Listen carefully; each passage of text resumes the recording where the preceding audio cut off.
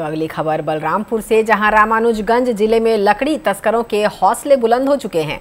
रात के अंधेरे में हरे भरे जंगलों को उजाड़कर बेशकीमती इमारती लकड़ियों की तस्करी किया जा रहा है। वहीं वन विभाग की टीम भी एक्टिव मोड में आकर कार्रवाई भी कर रही है। बीती रात रामानुजगंज जेल के कृष्णा नगर धमनी जंगल से साल की लकड़ी सहित एक यूपी पासिंग पिकअप वाहन को पकड़ा गया, जबकि वन विभाग की टीम को देखकर तस्कर मौके से फरार हो गए।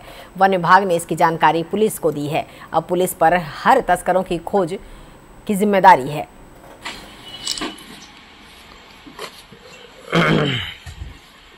गाड़ी जो पकड़ी गई है, रामानुज रेंज के बगरा सर्किल के कृष्ण नगर बीट में, वर्तमान नाम उसका धमनी भी है।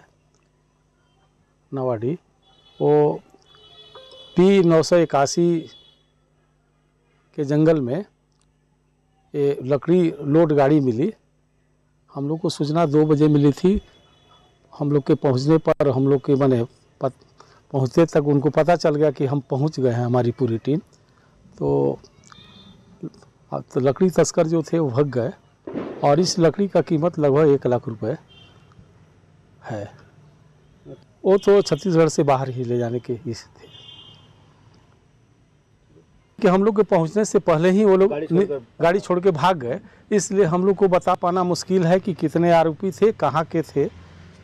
हैं? क्या गाड़ी जी नहीं किसी प्रकार की कोई कांटेक्ट नहीं हुआ है। ये गाड़ी यूपी की बता नंबर है।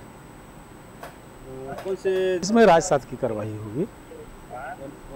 वन अधिनियम? की तहत राजसात की कार्रवाई कार्रवाई की प्रक्रिया शुरू हो गई है।